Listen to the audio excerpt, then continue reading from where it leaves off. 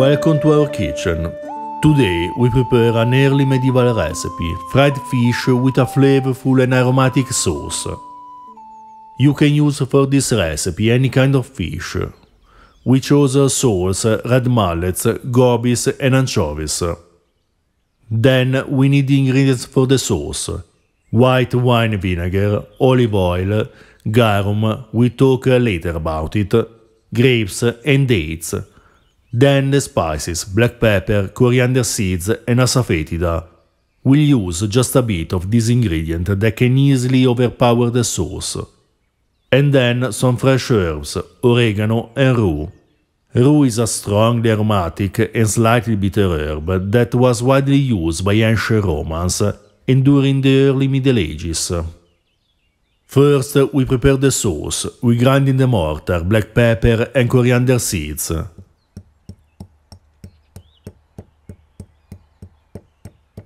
This recipe was written in the 5th or 6th century during the Gothic Kingdom of Italy. The author Vinidarius, probably a Goth, uses many ingredients typical of ancient Roman cuisine, such as garum and asafoetida, and his sauce aims at a balance between fresh herbs, spices, sweetness and acidity, also typical of ancient Roman dishes.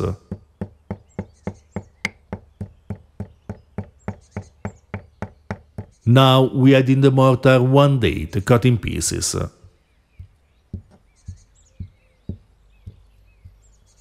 We finely mince oregano and rue. If you prefer, you can grind them in the mortar with the spices and date. Then we boil the grape juice and reduce it by a third. The product we obtain was called defrutum, also spelled defritum by ancient Romans, and was a widely used sweetener. Now we mix all the ingredients, adding grated asafoetida. Asafoetida was widely used in ancient Mediterranean and also in the early Middle Ages. It was known with the Latin name Laser or with the Greek name Silphium. The most prized variety, called Laser cyrenaicum, was cultivated in modern-day Libya and it is no longer produced today, but the eastern variety, called the Laser parthicum, is still used in many countries. Now we boil the sauce for just 30 seconds.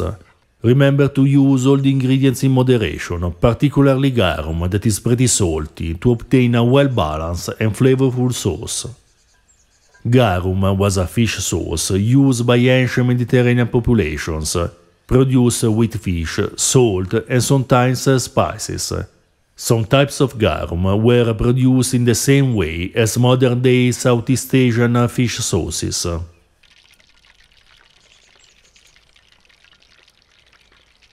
Then we deep fry the fish after scaling and gutting it. We used extra virgin olive oil to make a historically accurate recipe, but feel free to use higher smoking point oil.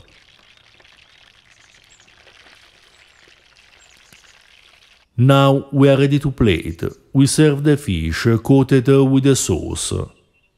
This intensely aromatic dish is a delicious way to experience the interesting connection between early medieval and ancient Roman cuisine.